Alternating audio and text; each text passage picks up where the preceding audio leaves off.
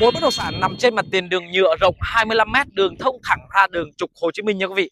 Trục này là trục N4 và ngay hôm nay Trọng Thơ có một sản phẩm để giới thiệu toàn thể khách hàng ạ. Ngang năm, sâu cho 30, đất ở đô thị phun thổ cư và ưu điểm là được xây dựng tự do từ 1 đến 6 tầng. Đặc biệt hơn nữa là cách nút giao giữa đường N4 và đường D3 này chỉ 40m nha quý vị. Với diện tích bất động sản này, chúng ta có thể xây dựng để ở này. Trong tương lai chúng ta có thể kinh doanh ở mặt tiền đường lớn luôn quý vị. Mua đất đường to không là lợi nhuận, đường 25m thông thẳng ra trục Hồ Chí Minh và đi qua trường cao đẳng Bình Phước chỉ 1 km nha quý vị là tới trường cao đẳng Bình Phước rồi.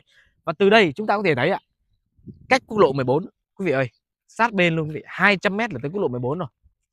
Đó, những ngôi nhà mái thái, những căn biệt thự mini rồi uh, những căn biệt thự đang được hoàn thiện cũng mặt tiền đường quốc lộ 14 nha.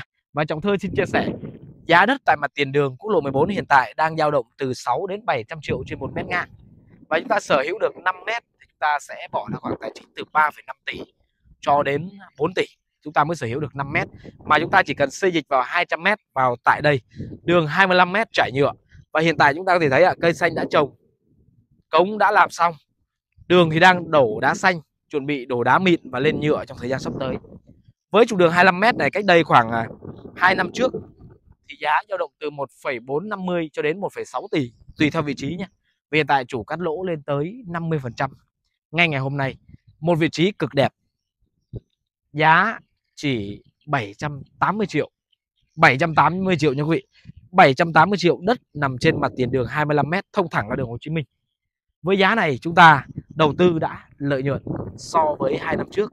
Và hiện tại chúng ta đầu tư thời điểm này là tốt nhất và tại thời điểm này thì Trơn Thành Bình Phước có những tuyến cao tốc chuẩn bị kết nối một thị xã Trơn Thành nhỏ thôi ạ à, nhưng mà có tới 4 tuyến cao tốc chạy qua và về với Trơn Thành gồm Trơn Thành Đắk Nông, Trơn Thành Hồ Chí Minh, Trơn Thành Đức Hòa Long An và Trơn Thành cửa khẩu Hoa Lư.